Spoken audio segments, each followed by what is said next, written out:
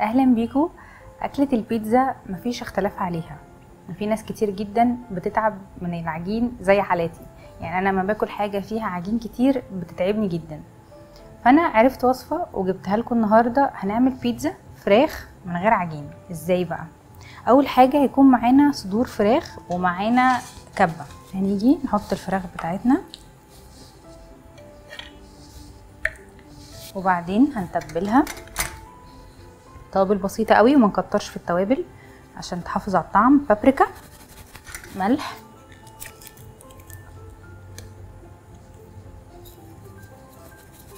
طبعا فلفل أسود لازم مع أي حاجة فيها زفارة لازم فلفل أسود عشان هو اللي بي يعني بيضيع طعم الزفارة.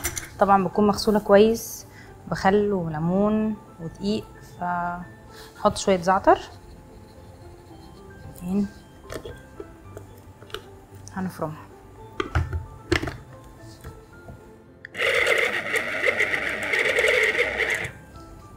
دلوقتي بعد ما فرمت الفراخ بتاعتي هحطها في بولة ونرجع نكمل بقية الخطوات. أنا فضيت الفراخ بتاعتي في بولة.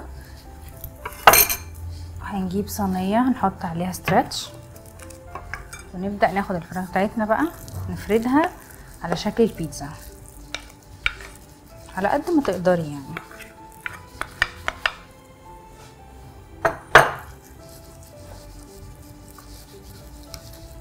أنا مش بحبها تخينة أو رفيعة يعني يكون يعني السمك بتاعها كويس زي البيتزا العادية اللي إحنا بناكلها. دلوقتي هندخلها الفريزر ساعة ساعتين على الأقل ونرجع نعمل صلصة البيتزا مع بعض. دلوقتي هنعمل مع بعض الصلصة بتاعت البيتزا.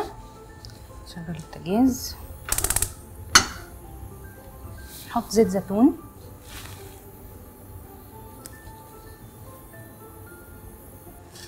وزيت الزيتون ما بيسخنش قوي. يعني ممكن نحط صلصة دلوقتي عادي يعني. دي طماطم.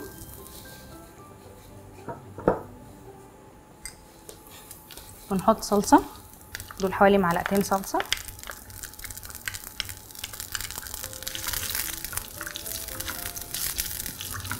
كل ده هيتقل مع بعض.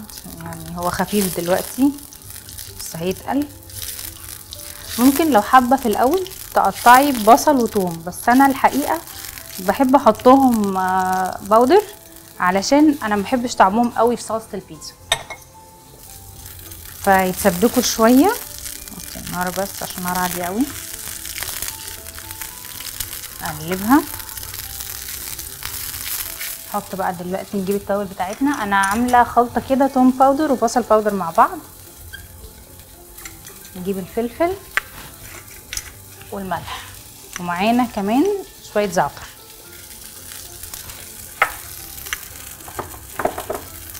هنحط الملح.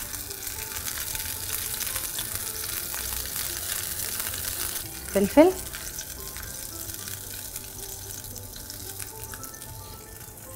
ثوم وبصل باودر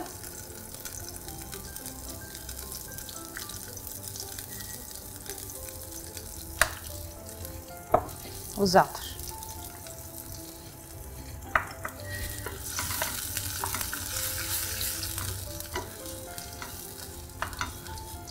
عندي بقى عليها. نسيبها تتسبك لحد ما تتقل خالص ونروح نجيب الفراخ بتاعتنا من الفريزر. أنا جبت دلوقتي الفراخ بتاعتنا من الفريزر. بصوا مسكت نفسها خالص. ومجهزة معايا دقيق بيض بقسماط. وزيت على النار. اللي عايزاه سخن جدا عايزاه يسخن قوي يعني. هنعمل إيه بقى؟ هنفك الفراخ بتاعتنا. نحطها في الدقيق.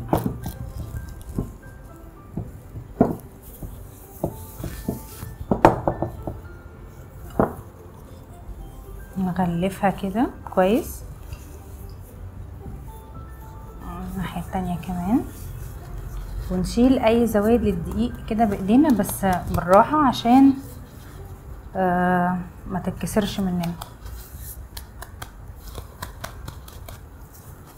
بعد كده في البيض.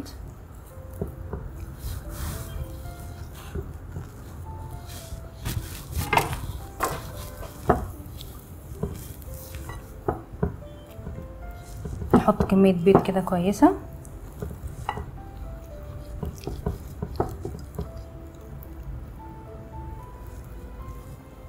وبعدين في البقسماط. أهم حاجة بقى في البقسماط إن إحنا نتك عليه جامد. يعني نغلفها بيه كويس قوي. أنا بس عايزة أعمل تيست كده بسيط للزيت أشوفه استوى يعني سخن معايا ولا لأ؟ تمام قوي. سخن كويس. برضو هنزل أي زوايد كده. اي بقسماط زيادة واتك عليها. بسم الله.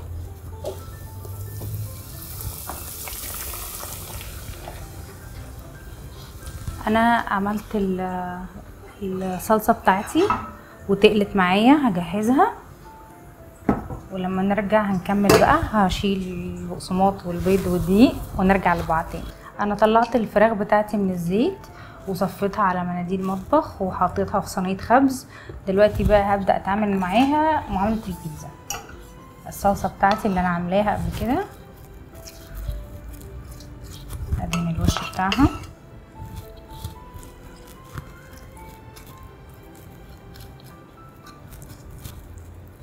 تمام كده. جبنة موتزاريلا. أنا بقى بحب اغرقها بقى جبنه موتزاريلا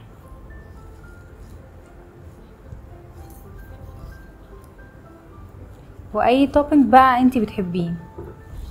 عايزة تحطي خضار عايزة تحطي آه، لحوم زي كده سلامي. أنا بس إن أنا دلوقتي هدخلها تحت شواية خمس دقايق سبع دقايق بالكتير قوي لو ال- الشواية بتاعتي ضعيفة يعني.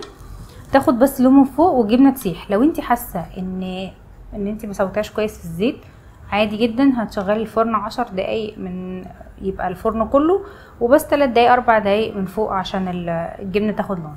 فأنا دلوقتي هدخلها تحت الشواية وأرجع لكم تاني. أنا طلعت البيتزا بتاعتي من الفرن. نحاول بقى نطلعها بالراحة عشان ما تتقسمش كده اتنين. بسم الله.